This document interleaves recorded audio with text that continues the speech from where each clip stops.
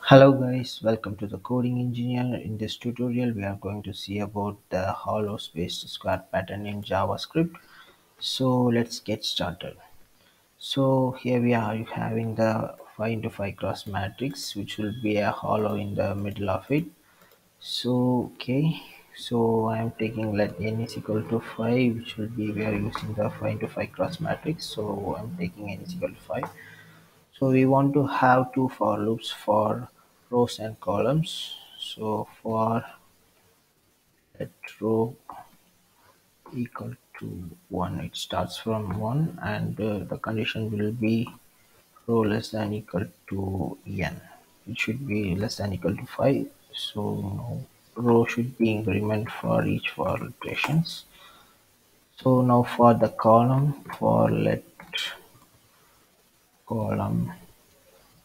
Starts from 1 and column should be less than equal to 5 and column should be increment for each iterations. So here we have the patterns. So here we have the conditions which will be for first row and the last row should be printed the whole thing and the first column and the last column should be printed the whole patterns. So that's the condition. So we have to use this like so i'm having a condition like if row equal to equal to 1 or row equal to equal to row equal to equal to n which will be a 5 the last uh, space here.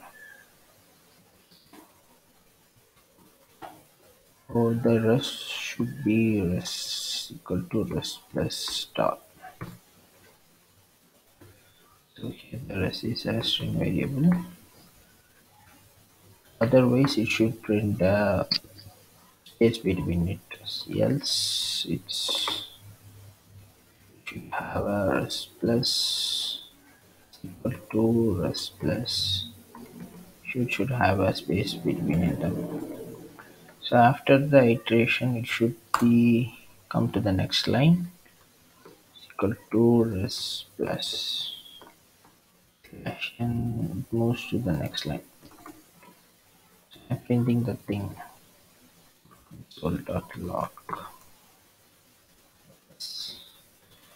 so we can see what is happening here so so here we go. We got the rows in we have the whole patterns in the first row and the first column.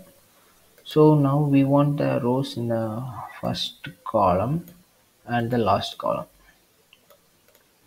So we have to change the conditions little bit like or column equal to equal to 1 or column equal to equal to n.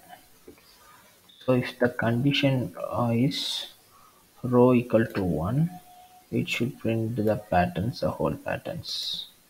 If the row is n it should print the whole pattern. If the column is 1 it should print the whole pattern. If the column is n it should want to print the whole pattern. Otherwise it want to show the blank space between them so here we go. We got the output as what it is like that